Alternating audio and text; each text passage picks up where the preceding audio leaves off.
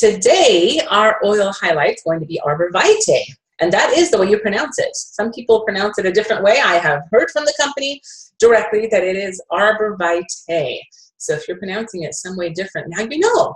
Okay, so we're going to talk about this cool oil. I think a lot of people don't know how to use it. Number one, they may have smelt it and thought, um, I don't like it which is what I thought when I first started using it. And I now love it. So once you learn how to use it, I think you might change your mind. And those of you who do love it, you know what I'm talking about, right?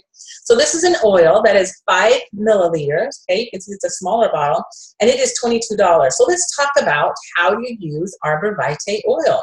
Number one, this is a great replacement for our On Guard oil. I don't know if anything can ever replace On Guard, but it can use be used similar to the way that we use On Guard. It's really great at keeping you healthy. So during the seasons when you have a lot of environmental or seasonal threats that are happening at the time, put this on your feet, diffuse it in the air, and it'll keep your family nice and healthy. Okay, excellent for that. It's also great for repelling insects. So if you're going out and about somewhere, I would recommend that you put this on your ankles and on your wrists. It'll keep those bugs away. Cool, huh? Here's another thing you can do. Add this to a spray bottle. Okay, so this is water in it, and all you do is you're just going to drop a few drops of the Arbor Vitae in it, and then put it on your hands, and guess what? Really good hand sanitizer. It's got a good little musky smell to it. So there you go. Nice little hand sanitizer, great for camping. Okay, so how else can you use it? Diffuse it. I love this in my diffuser. I didn't used to, but I do now. It has a very grounding smell, very musky, very outdoorsy smell. It smells like wood to me. Can you tell how much I love it? I just love to just breathe it in and smell this stuff. So diffuse it.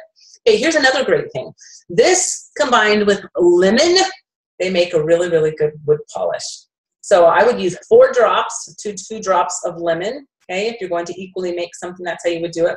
And just spray that on the wood surface makes it nice and shiny and keeps your wood healthy. Awesome. All right, how many of you want a cologne, a good, nice, musky cologne? So take Arbor Vitae, add it with frankincense and also cedarwood. Those three together make a great cologne for men. Very musky, very balancing and grounding. No fruity smells here, right? Okay, and here's the last one. This is the way that I use this.